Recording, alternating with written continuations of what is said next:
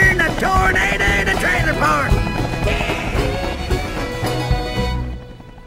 I think it's about the time we redecorate, hmm? Hi, Lightning McQueen told me this was the best place in the world to get tires. How about setting me and my friends up with three or four sets each? Quick!